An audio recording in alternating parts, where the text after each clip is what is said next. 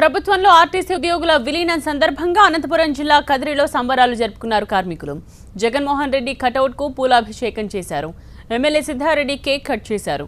డెబ్బై ఏళ్ళ ఆర్టీసీ కార్మికుల కళ నేడు నెరవేరిందన్నారు ఎమ్మెల్యే.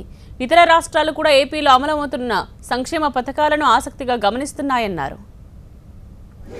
ఆర్థిక భారాన్ని మోస్తూ ఈరోజు యాభై రెండు వేల మంది ఆర్టీసీ కార్మికుల జీవితాల్లో వెలుగులు నింపిన గౌరవ ముఖ్యమంత్రి జగన్మోహన్ రెడ్డి గారు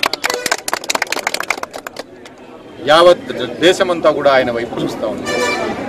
ఆరు నెలల్లో మంచి ముఖ్యమంత్రి అనిపించుకోవాలి అని చెప్పి ఆయన ప్రమాణ స్వీకారం రోజే చెప్పారు. మరి చెప్పినట్లుగానే ఈరోజు ఈ దేశమంతా కూడా ఆయన వైపు చూస్తూ ఉంది.